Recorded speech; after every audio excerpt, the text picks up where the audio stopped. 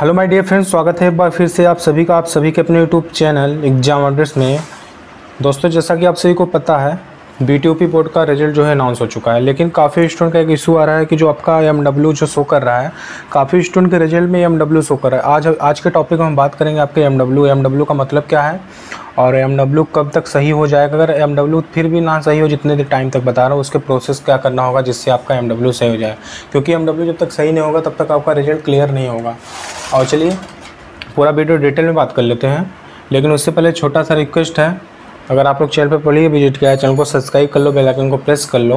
और अगर आपको एम को इंपॉर्टेंट क्वेश्चन की तैयारी कर रहे हैं, जैसा कि इस बार एम क्वेश्चन होने वाला ऑनलाइन तो आप हमारे टेलीग्राम चैनल से भी जुड़ सकते हैं, जिसका लिंक डिस्क्रिप्शन वहाँ से इंपॉर्टेंट पी प्रोवाइड होते रहते हैं डेली का डेली तो चलिए डिटेल में बात कर लेते हैं दोस्तों। चाहे कोई क्वेश्चन हो, कोई डाउट हो, या कोई कॉन्सेप्ट समझ में ना आए बोर्ड हो, या जेई नीट पढ़ाई में कोई भी दिक्कत आ रही है तो आपका सोल्यूशन है फिलो ऐप अपने डाउट को क्लियर करें in the three easy step सबसे पहले ऐप को प्ले स्टोर या ऐप स्टोर से डाउनलोड करें।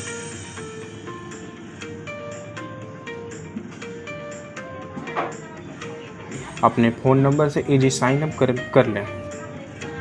अपने क्वेश्चन का पिक्चर लें या उसे टाइप करके सबमिट करें और फिलो आपको सिक्सटी सेकेंड में इंडिया के टॉप एक्सपर्ट से लाइव कॉल पर कनेक्ट कर देगा।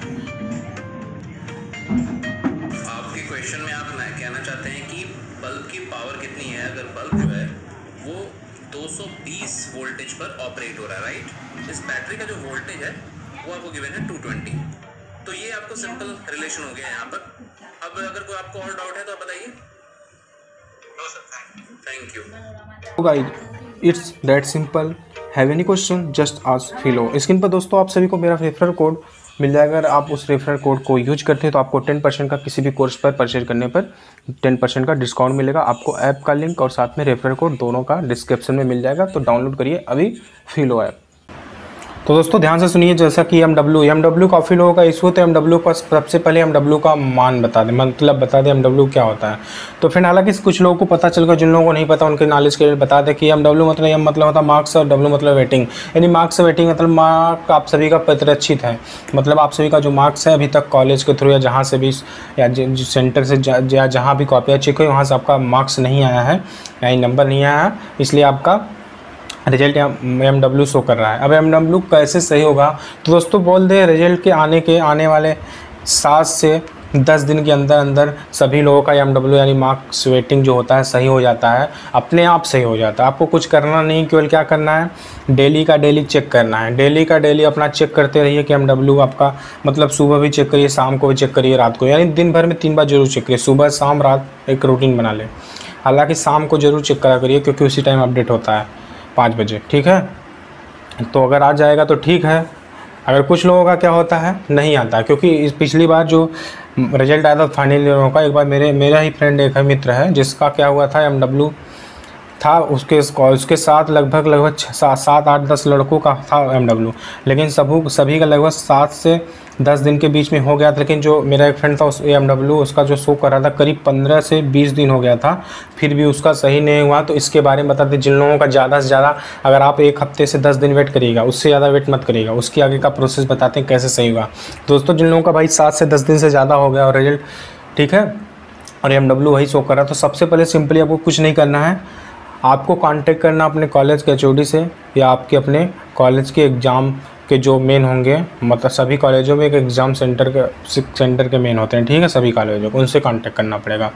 उसके बाद वो आपको एक फॉर्म देंगे, लेकिन उससे पहले आप लोग जहाँ पर एग्ज़ाम दें, यानी जहाँ जिस सेंटर पर आप लोग एग्ज़ाम देने गए थे, वहाँ से जाइएगा, अपना एक अटेंडेंस सीट लेके आइएगा। अटेंडेंस सीट वहाँ से जाकर अप्लीकेशन लिखिएगा कॉलेज अपने हाथ से, और कॉलेज के प्रिंसिपल को सिग्नेचर है, वहाँ से किसी ऑफ़िस में चले जाएँगे, उनसे बोलेगा कि मुझे अटेंडेंस सीट चाहिए अप्लीकेशन लेके जाइएगा, और एडमिट कार्ड लेके जाइएगा अपना। तो आपका एडमिट कार्ड चेक करके जिस, और पेपर जिस दिन था, उस चीज़ को याद रखिएगा, जो इस सब्जेक्ट का था, उसको याद रखिए, ताकि वो लोग आसानी से ढूंढ के आप लोगों को जो है अपना अटेंडेंस सीट दे दें अटेंडेंस सीट लेके जाने के बाद अपने कॉलेज में कांटेक्ट करिए।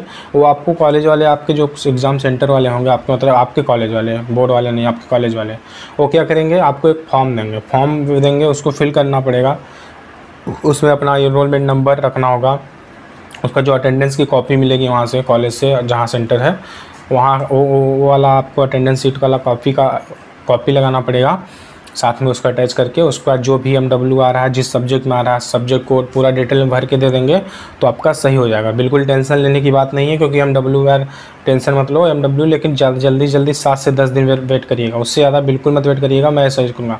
हालाँकि मैं सात दिन वेट करने को बोलूँगा, क्योंकि सात दिन में आ जाता है। लेकिन कुछ लोग हो सकता है आठ, नौ दिन भी लग जाए, क्योंकि अगर ज़्यादा होगा तो टाइम लगेगा।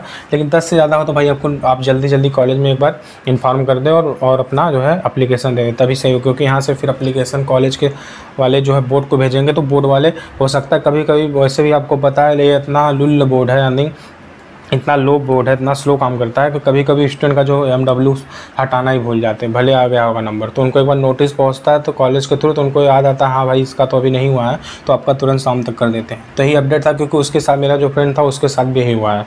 इसलिए मैं आपको शेयर करना शेयर किया है वीडियो अगर वीडियो भाई पसंद है लाइक कर दो चैनल को सब्सक्राइब कर लो बेलाइकन को प्रेस कर लो।